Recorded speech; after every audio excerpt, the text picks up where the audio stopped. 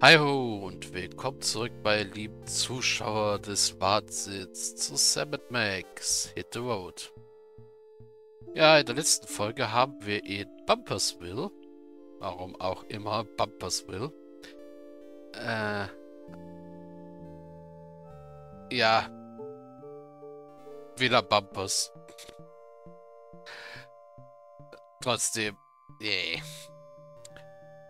Der Typ ist komisch. Äh, haben wir Bruno und Trixie befreit, die jetzt abgehauen sind zur großen Yeti-Party. Auf die wir uns jetzt auch einschleichen wollen. Dieser Ort ist aber idyllisch. Hawaii idyllisch? Ja, hier fühle ich mich so richtig eingeboren. Ich hoffe nur, dass man hier authentische wilde Tiki-Cocktails mit dem authentischen wilden Tiki-Firlefanz bekommt. Und ja, es fängt ja schon gut an, wenn wir hier sind. Es ist ein kleiner, blubbernder Vulkan, der der Dschungelatmosphäre den gewissen Kick gibt. Mhm. Sieht eher aus wie ein Schokoladengeysir. Naja, Schokolade wäre schön. Savage Jungle Inn. Ja. So, da gehen wir mal hinein.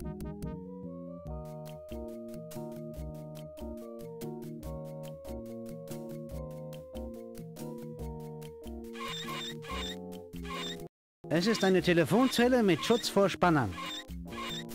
Ja, Max spielt an der Tür rum. Ich wüsste niemanden, den ich anrufen. Ruf mich an, ruf mich an. Du müsstest vorher leibhaftig werden. Ich bestehe aus Pixeln, das ist besser als leibhaftig. ja, brechen wir das mal war die vierte ein Wand. furchtbarer Dialog, Max. Mir verzeiht man das. Ich bin nie... Ja. Gut, hier steht ein Yeti. Den Film habe ich damals im Kino gesehen, als ich noch ein Welpe war. Als die Spannungskurve ihren Höhepunkt erreichte, schmissen sie riesige Plastikschlangen ins Publikum. Warum dreht man heute nicht mehr solche Filme? das war ja kein Wein. Wachsende Ansprüche? Vielleicht. Ich frage mich, ob dieser Vogel sprechen kann. Vielleicht gibt er uns einen wichtigen Hinweis. Ach, erzähl keinen Blödsinn. Ja, Max P sagt dem Vogel lieber. Sei nicht albern. So, reden wir erstmal mit ihr. Hey, sind Sie nicht Evelyn Morrison, die berühmte B-Movie-Aktrice? Ja, ich bin sie. Ich habe alle Ihre Filme gesehen. Mein Lieblingsfilm ist Roboter-Terror in der hintersten Galaxis. Ist das der, wo der Außerirdische sagt, Klam du Baretta nimm do? Nein, das war ein Vampire in Gefangenschaft. Oh, richtig. Möchten Sie ein Autogramm von Evelyn Morrison? Eigentlich wollten wir nur ein paar Fragen stellen. Evelyn Morrison ist jederzeit für Interviews verfügbar. Wie sind Sie bloß zum Hotelgewerbe gekommen? Ich wette, es war eine dreckige Kombination aus schnellen Autos und heftigem Lebensstil. Brumm, brumm. Es waren die Stars. Größere Filmstars als Sie? Puh? Nein, die Stars wurden nicht größer. Die Gummimonster wurden kleiner. Und ich glaube immer noch, dass es eine finstere Geschichte voller Sünde und Verdorbenheit ist.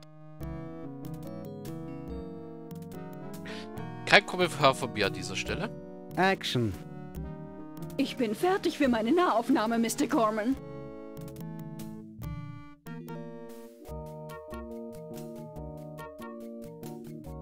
Ich habe dieses unwiderstehliche Verlangen nach einem Cocktail mit Schirmchen.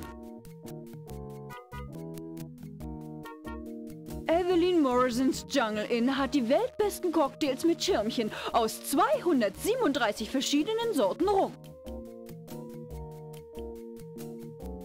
Alle in nur einem Cocktail? Wo geht es zur Bar?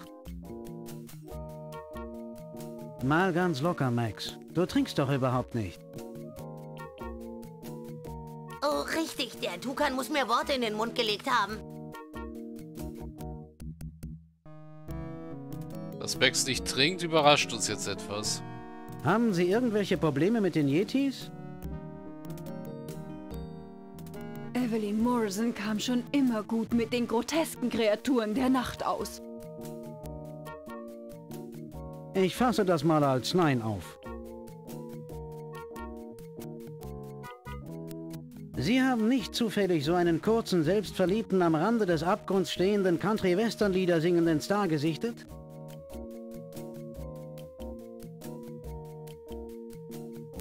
Den hat Evelyn Morrison schon vor Stunden des Geländes verwiesen.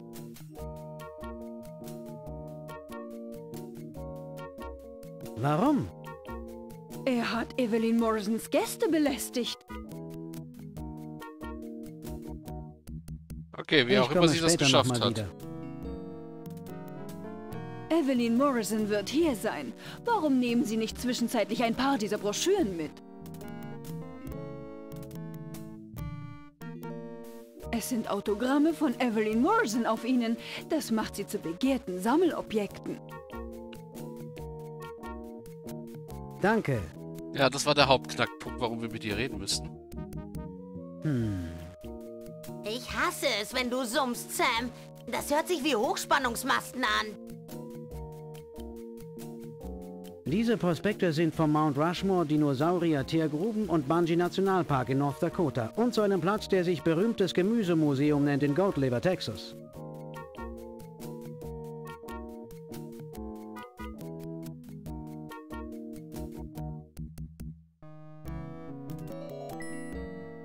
Ja, das sind die beiden letzten Ich Orte. glaube, mir gefiel das Summen besser. So, dann reden wir mal mit dem Yeti, der hier steht. Was ist dort drin los? Riesige Yeti-Party. Stopp! Was ist? Nur Yetis und ihre Begleitung dürfen passieren.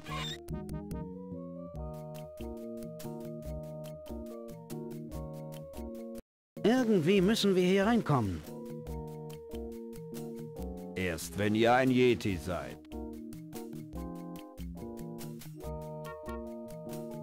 Yeti, Yeti, lass mich rein. Was wollt ihr machen, wenn ich euch nicht lasse? Pusten und prusten, bis ich umfalle? Okay, also wir müssen erst ein Yeti werden, um da reinzukommen. Gut, dann machen wir das mal. Erst einmal...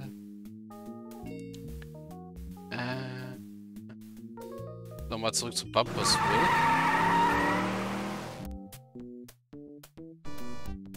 Weil hier haben wir, glaube ich, was vergessen.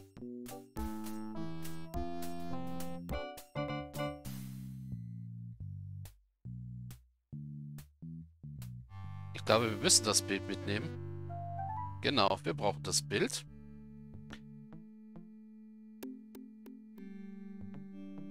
Ein umwerfendes Porträt von John Muir, dem berühmten Naturforscher.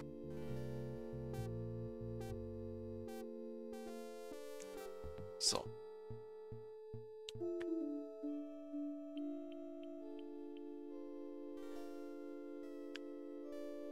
Das ist das Erste, was wir brauchen.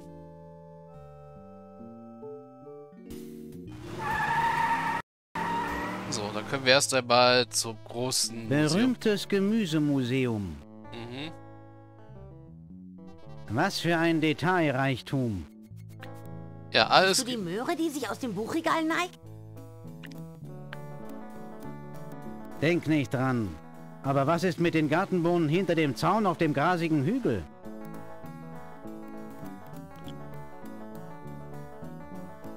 Ja, Osterinsel Maiskolben gibt's hier auch.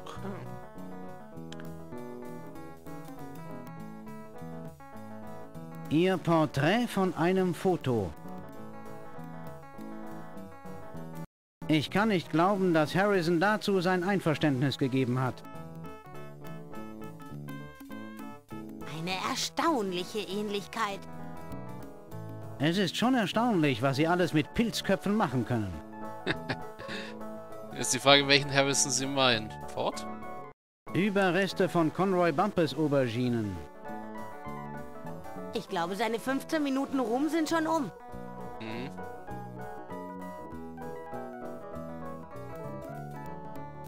Bei der heiligen Mutter des Kürbis. Was ist das? Ist das nicht ersichtlich?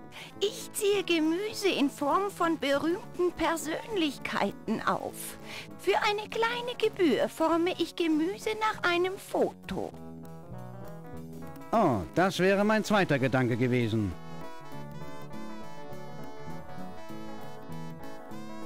Wie lange hast du auf? So lange wie du willst. In diesem Geschäftszweig musst du jede Gelegenheit nutzen. Das glaube ich gerne. Auch wenn sie wahrscheinlich keine Konkurrenz hat. Ich finde das alles sehr faszinierend. Nun, was ist denn zurzeit in Sachen Gemüsepersönlichkeiten besonders angesagt? Ich kann nicht glauben, dass ich schon lang genug gelebt habe, um dich das sagen zu hören, Sam. Du wirst es vielleicht nicht glauben, Junge, aber wirklich angesagt ist im Moment die Miniaturisierung. Miniaturisierung? Erbsen. Erbsen? Alles, was wir wollen, ist, äh, gebt den Erbsen eine Chance.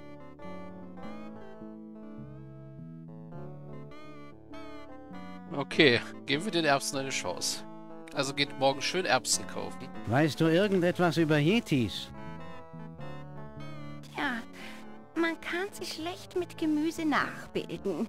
Ich habe vor einiger Zeit mit diesem Gedanken gespielt, äh, aber es gibt kein pelziges Gemüse.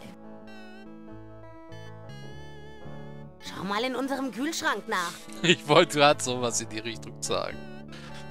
Warum liegen dort drüben so viele Conroy-Köpfe? Probierte ein neues Wachstumshormon für einige meiner berühmteren Persönlichkeiten aus, bis ich merkte, dass es Blödsinn war. Und jetzt kann man es nicht mehr rückgängig machen. Sie wachsen alle mit diesem missgebildeten komischen Zeugs obendrauf. Erinnerte mich an Conroy Bumpers. Darum verkaufe ich sie als Angebot. Okay.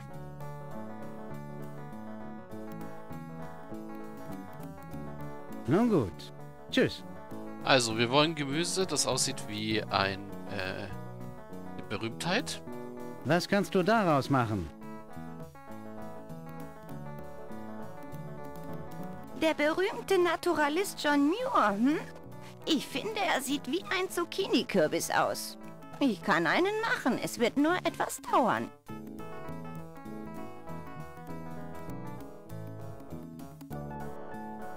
Okay. Das heißt, wir kriegen einen John Muir Kürbis, nehmen einen Conroy Bumpus Kürbis mit.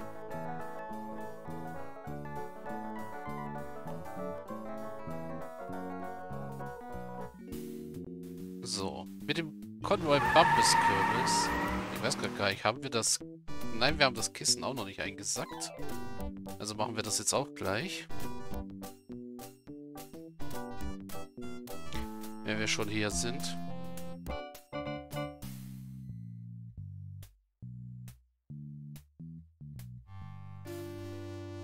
Oh, wir haben das Kissen schon. Ach, da unten ist es ja. Okay. Äh, nein, nein, nein, nein, nein. Ich brauche den Conroy Bumpus Kürbis. Und dann machen wir die Indiana Jones Nummer.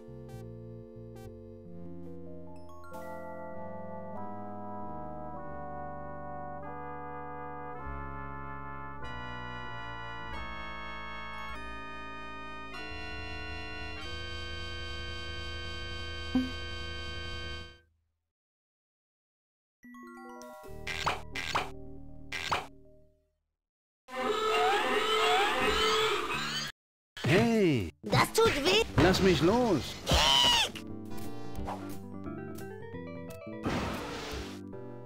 Und bleibt draußen. So. Wir haben jetzt aber Conway Bumpus hat. Das ist Conroys Toupet. Das können wir übrigens auch mal kombinieren. Da unten hinpacken. Also so Zeug, was wir nicht mehr brauchen, können wir nach oben schichten. Äh, außer Max natürlich. Max brauchen wir immer, aber die ganzen Sachen hier sind eigentlich jetzt komplett irrelevant geworden. Nur leider können wir sie nicht wegschmeißen und sie verschwinden auch nicht, wenn sie ausgedient haben aus dem Inventar. So, jetzt können wir in den Dino-Park fahren. Dino Banji National Gedenkstätte. Äh, ja.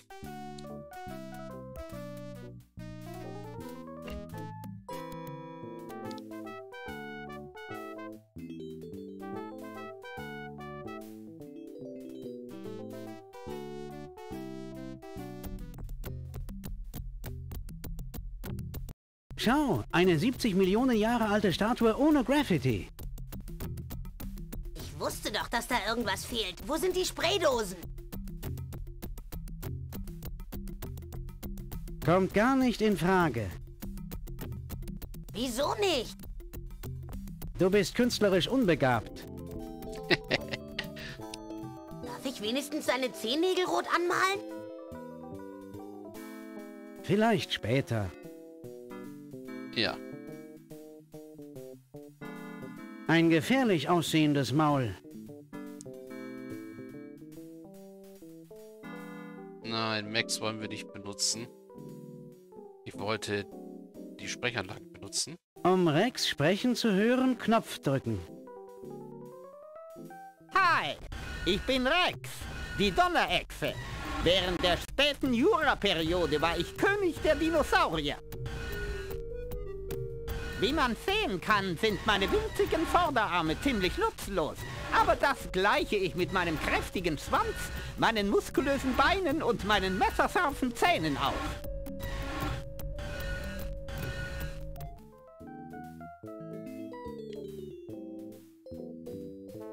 Irgendwo habe ich solche Haare schon mal gesehen. Auf deinem Hintern? Nein, dieses Haar gleicht dem Yeti-Haar aufs Haar. Du glaubst doch nicht, dass man Yetis gehäutet hat, nur um diese alberne Attraktion herzustellen. Wer weiß? Oder besser, wen kümmert das? Ja. Um Wally sprechen zu hören, Knopf drücken. Hi, ich bin Wally, das wollige Mammut. Hi, ich bin Wally, das wollige Mammut. Ich bin jetzt zwar ausgestorben, aber in der Eiszeit war ich König der Säugetiere. Hi, ich bin Wally, das wollige... Okay.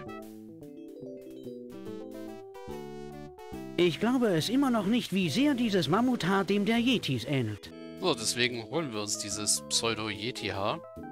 Und den besten Rasierer haben wir auch dabei. Hey, Max. Nämlich Max. Hey, was? Ich habe eine Aufgabe für deine gewaltigen Schneidezähne. Was? Siehst du dieses wollige Mammut? Was ist damit? Hör auf, den Idioten zu spielen und mach dich an die Arbeit. Ja, wir beginnen jetzt Sachbeschädigung.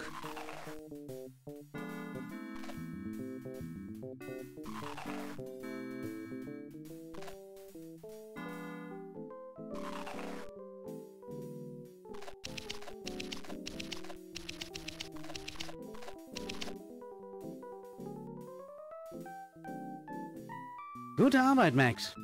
Jetzt haben wir mehr Mammuthaar, als wir jemals brauchen werden. Und wir haben etwas sehr Wichtiges gelernt.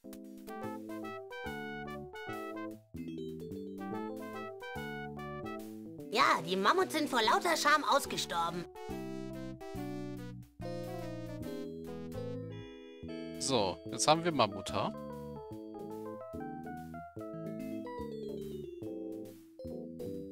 Ich will damit nicht raus. Es wäre nett, ein haariges Bachstelzenkostüm zu besitzen,